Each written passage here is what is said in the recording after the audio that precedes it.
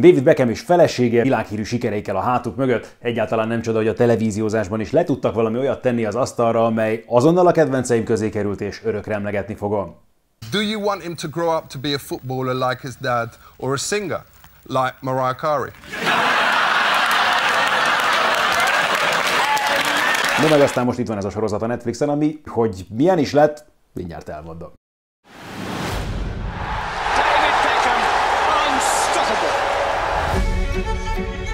Never really did well at school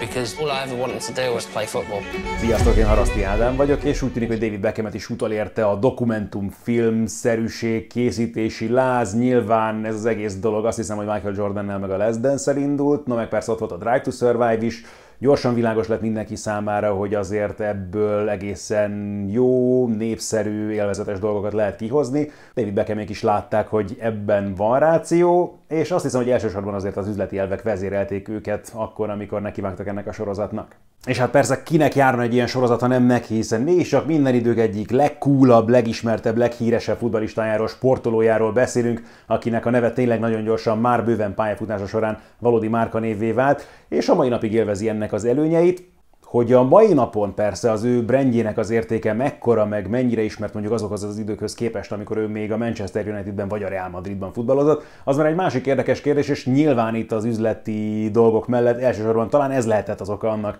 hogy rávette magát és kedves feleségét is arra, hogy megcsinálják ezt a filmet. Ami egyébként abszolút egy minőségi dolog lett, azt gondolom, tényleg tartalmilag, szerkesztésileg, képi világát tekintve is mindenben megfelel abszolút a modern trendeknek. Nem is tűnt, hogy bármit is el akarna, hogy sinkofálni. Igaz, azért azt sem merném állítani, hogy nagyon mélyen belementek volna bizonyos dolgokba, de erre mindjárt kicsit bővebben is kitérünk. Mert ha már a képi világ, és tényleg igyekeztek nagyon igényesen, nagyon modern módon összerakni ezt az egészet, azért volt egy-két dolog, ami engem már egy kicsit rögtön az első pillanatoktól kezdve zavart, mert nagyon szerették volna megmutatni tényleg a sztárfellépőket, vendégeket is, akik még részt vettek ebben a sorozatban, volt belőlük jó néhány, és biztos ennek is szóltak ezek a bevonulós nittek, meg ezek a fertelmes, nagyon közeli felvételek, amikben tényleg már csak az hiányzott, hogy nem tudom, valaki elkezdi nyomkodni valami pattanását, vagy miteszerét, vagy nem tudom, orszőrét kiráncigálni, valami ilyesmi meg persze mindent és mindenkit is meg kellett mutatni legalább két különböző kamerából, de ez utóbbival van még talán a legkevesebb baj, ami ebből a szempontból persze érdekes volt mondjuk, hogy Sir Alex Fergusonnal vagy Florentino Perezzel azért annyira nem erőltették ezeket a dolgokat, ott is megvalósították valamilyen módon, de nagyon látványos volt, hogy mondjuk Eric Cantonánál vagy Luis Figonál még próbálták ugye rávetíteni is a fejükre a különböző jeleneteket. Érdekes elképzelés, értem a célját, nem sült el szerintem olyan nagyon jól és ha már itt a több kamerás felvételek, Beckham és a feleségével is ugye azért nem csak, hogy több kamerával, több helyszínen, több öltözetben készültek interjúk, nagyon vicces volt látni, persze az nem volt azt hiszem eddig sem kérdés senki számára sem, hogy mennyire fontos mind a kettőjük számára alapvetően a divat, mint olyan, de az, hogy Beckhamet szerintem láttuk legalább öt különböző inkben, pulóverben, kardigában, karórában és a többi, az is sok mindent megmutat a személyiségéről, ami persze nem újdonság tényleg senkinek. David, big smile. It definitely didn't change me. We changed. There's no doubt about that. És ez talán egy kicsit a bajom egyébként alapvetően az egész sorozattal, hogy érdekes, tényleg egy tök jó nosztalgia trip, rengeteg olyan dologról van szó, ami emlékezetes volt a pályafutásával kapcsolatban, nem akarja eltusolni akár mondjuk a Simeonés történetet 98-ban a VB-ről, Mondanám, hogy az se, amikor úgy állítólag megcsalta a feleségét a Madrid időszak alatt, azt nem állítanám, hogy ezt a részt nagyon kibontották, de azért volt róla szó, és egészen ízlésesen sikerült még azt hiszem kezelni. De ami igazából a lényeg, hogy ebből a szempontból is kicsit olyan az egész sorozat, mint Beckham, picit felszínes olyan nagyon mélyre nem akartak menni szerintem semmivel, és amikor egy kicsit elkezdtek volna már ilyen húrokat pendíteni, akkor meg azért kiderült, hogy hát nyilván azért színésznek még messze nem az igazi David Beckham, bármennyire is lehetett hallani vele kapcsolatban, hogy annak idén ilyen plegykákat is, hogy ezért akart mondjuk Los Angelesbe költözni, amikor tényleg a legmélyebb dolgok előkerültek volna, akár mondjuk arról az időszakról, amikor gyerekként ugye el kellett költözni a Manchesterbe és rettenetes honvágya volt, akár ugye a 98-as VB utáni megpróbáltatásait, akár amikor ugye el kellett jönnie végül is Manchesterből a Sir való összetűzésének köszönhetően, amikor így nagyon mélyre ment volna, akkor már kicsit ilyen kellemetlené kezdett válni. Nem tűnt mindig a legőszintébbnek fogalmazzunk így, kicsit inkább, mint hogy elővette volna azokat a dolgokat, amit Tom Cruise próbált neki félrészegen mutatni a hollywoodi buliaikon. I never even knew myself.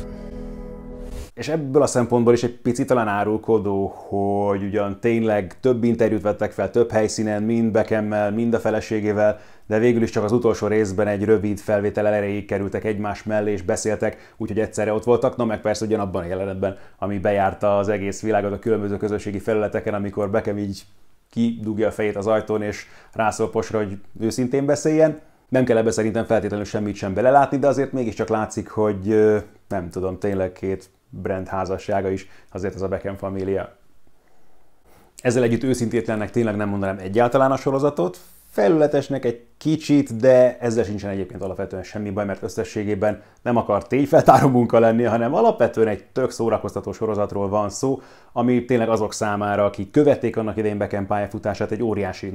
parti, akik meg nem ismerték annak idején a pályafutását, azoknak meg azt hiszem egészen jól mutatja be azt, hogy valóban milyen hype volt e körül a fickó körül, hogy milyen futbalista is volt egészen pontosan, azt talán annyira nem derül ki belőle. Nyilván ebből a szempontból egy kicsit próbálja tupírozni a dolgokat, mert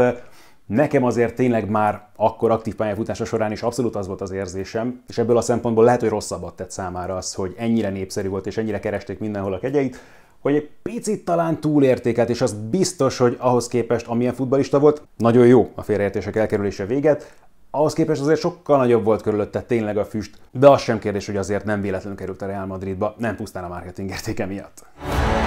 I remember saying to Bex, thank fuck you're on our team. What do you do afterwards? Sink or swim? There was something inside him, that determination. Tényleg nagyon jó volt látni a többi megszólalót is a sorozatban. Ferguson már említettem, akit én nagyon szívesen hallgattam volna. Akár sokkal tovább is, sokkal többet ezzel az egésszel kapcsolatban, aki maga is egyébként nagyon nyíltan beszélt erről. A szemöldök felszakítós történetről is, és hát rajta kívül is. Tényleg Gary Neville, Paul Scholes, Rio Ferdinand, őket mondjuk azért gyakran látjuk még mostanában, hogyha bárki is egy kicsit jobban próbálja követni az angol bajnokságot a különböző televíziós műsorokban, de mondjuk Luis Figot nem tudom, mikor láttam utoljára, Roberto Carlos ugyanez a helyzet, Mitchell Salgado is tök jó, hogy ott volt a sorozatban. Na meg Ronaldo, hú, na itt viszont tényleg a gyergörcsöt kaptam, hogy Ronaldo Nazáriónak írták ki a nevét, amikor először megjelent, ami így fogtam a fejemet, hogy azért értem persze, hogy van most egy futbalista, akinek hasonló a neve, de nem véletlenül ismeri őt is mindenki Cristianoként alapvetően, Cristiano Ronaldoként. Ronaldo az igazi, a fenomén, vagy felőlem lehet pufi, duci, tök mindegy. Az első, az utolsó és az egyetlen mindenki számára, aki szerintem látta őt annak idén aktív pályafutása során, pláne a legfiatalabb korában, mert bármekkora király is legyen, akár Ronaldo, akár Messi, akárki, akit mostanában látunk futballozni, a fenomén Ronaldo, amikor mondjuk Barcelonába került, olyan dinamizmussal, olyan lehetetlen dolgokat csinált heti rendszerességgel, amit még ezek a srácok sem feltétlenül.